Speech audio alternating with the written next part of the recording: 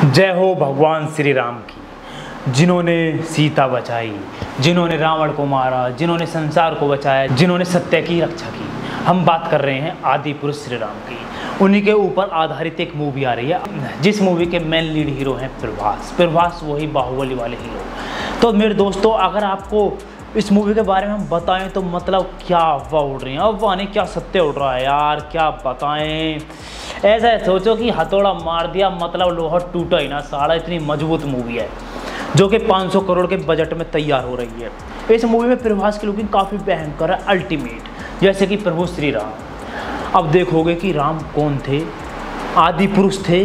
क्या थे?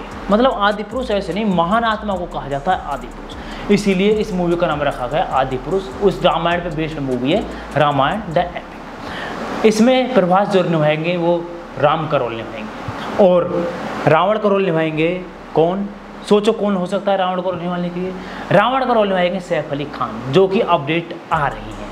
तीन अक्टूबर को इसका टीजर रिलीज़ हो रहा है। टीजर का इतनी तेज़ी से हल्ला है, इतना बेहतरीन हल्ला है कि मैं क्या ही बताऊँ आपको। इतना ज़्यादा क्रेज हुआ पड़ा है प्रभास की मूवी का, बहुत ही ज़्यादा। आदि पुरुष यार एक इतना बड़ा प्रोजेक्ट है जो 500 करोड़ के बजट में तैयार हो रहा है। ओम राउत इसके डायरेक्टर हैं और ओम राउत वही हैं जिन्होंने तानाजी बनाई। तानाजी तो आपने देखी ही होगी अजय देवन की। जिस मूवी ने अजय देवन की दुनिया ही बदल दी। यार, क्या मूवी थी? हाथ कटने के बाद भी कैसे धार मारी सैफ अली खान के गर्दन ही काट पा रही क्या बताएँ यार मूवी के बारे में? उसी मूवी के डायरेक्टर हैं ओम राउत, जो कि आदि पुरुष बना रहे हैं। आदि पुरुष एक ऐसी मूवी है जो कि इंडियन इंडस्ट्री को बदल कर रख देगी।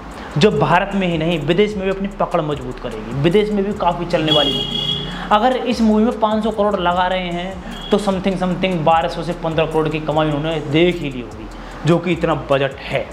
फ़िलहाल आई ब्रह्मास्त्र मूवी 400 करोड़ के बजट की मूवी, अब तक 300 से साढ़े तीन करोड़ रुपए कमा चुकी है। तो मेरे दोस्तों, हम बात कर रहे हैं आदि पुरुष की, जिसका तीन अक्टूबर को टीजर आ रहा है। टीजर ऐसा आ रहा है कि इसका इतना हल्ला है मार कर रख देगा, फाड़ के। इसमें जो मेन लीड में हीरो हैं, वो है प्रभास।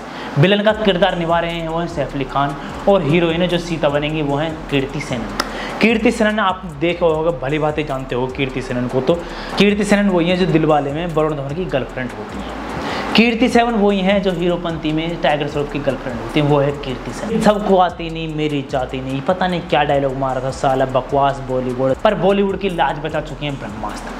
और इंडिया की लाज बचाने। इंडिया की लाज क्या? इंडिया की लाज तो बची पड़े, साउथ वाले ने बचा रखे बट ऊपर ले जाने के लिए आ रही है आदि पुरुष 2023 में, जनवरी में। पहले ही महीने में रिलीज़ हो रही है। इसका टीजर आ रहा है अक्टूबर की तीन तारीख को मज़ेदार टीजर निकलने वाला है। मैं तो सोच रहा हूँ कि इसका टीजर होगा कैसे? कि रामायण की तरह होगा बीएफएक्स कितने होंगे? हम बीएफएक्स की बात करें। इसमें जो बी यूज़ हो रहा है, वो बहुत सी कंपनियों का यूज़ हो रहा है। मतलब समथिंग समथिंग 200 से 250 से 300 करोड़ रुपए का तो बी एफ़ यूज़ हो रहा है इस मूवी में। मूवी का जो वी की कंपनी है, वो है कैमरॉन की। कैमरॉन वही हैं जिन्होंने अवतार में वी के लगाए थे। कैमरॉन वही हैं जो अवतार के डायरेक्टर थे। तो मेरे दोस्तों, आप अंदाज़ा लगा सकते हैं मूवी कितनी हैवी जाने वाली है और लुकिंग कितनी तकड़ी है प्रभास की। तो दोस्तों, अगर आपको हमारा रिव्यू देना पसंद आए वीडियो पसंद आए तो वीडियो को लाइक करो शेयर करो कमेंट करके बताओ वीडियो कैसी लगी। थैंक यू दोस्तों ऑल द बेस्ट मज़े लेते रहो ज़िंदगी के जैसे मैं ले रहा हूँ। बैठ बैठ के सारी ज़िंदगी न कट के